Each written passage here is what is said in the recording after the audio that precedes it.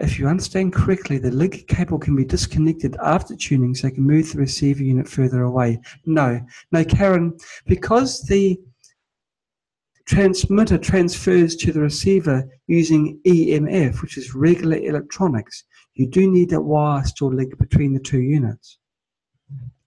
But you can use a longer piece of wire.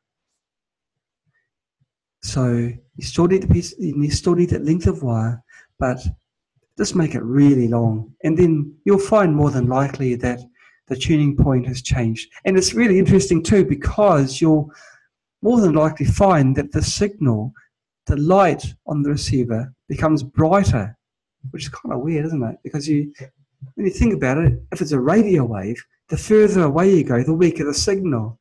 But now you've got a signal, signal that seems to get stronger the further away you go, which is kind of cool.